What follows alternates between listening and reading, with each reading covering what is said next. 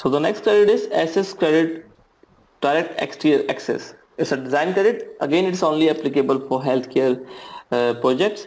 It is similar to what we have discussed, places of respite, providing a breathing space to patients and visitors.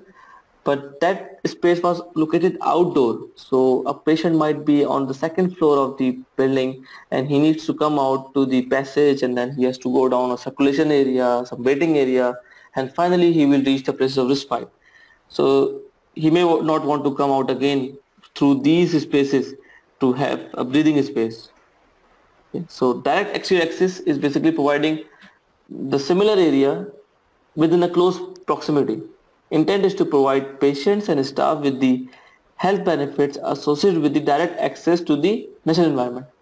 So what is the direct access? Basically, so this might be the surgical rooms or operation rooms so providing some outdoor spaces, combined one or maybe they have separation. So you are allowing patients to go directly to these spaces. It, it does not have to go out the go out of the space and go out of the passage and it, you don't have to go to the circulation and then finally reach the place of respite. So you have to provide a direct exterior spaces without having to leave the floor or access, accessing another major space. So your direct access space could be here also. You might have a combined terrace. Right? You may have a combined terrace for all these rooms. So that will also count towards direct access because it is not crossing any major space. The patient does not have to handle any other space before coming to this space. What is the amount of space you have to provide? It is 5 square feet per patient so what amount of patient will be counted? 75% of all inpatients. So who are inpatients?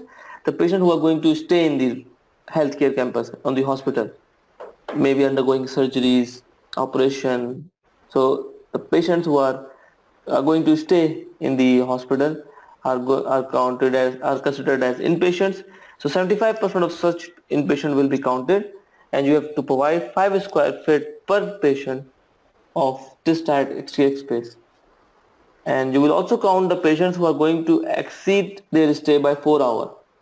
So you might not be staying in the hospital or healthcare campus but your surgery or your treatment require uh, your stay for a longer duration. Maybe it's a dental surgery so it may be you may be required to be there for 5-6 hours just hypothetically speaking. So 75% of those patients will also count toward this credit.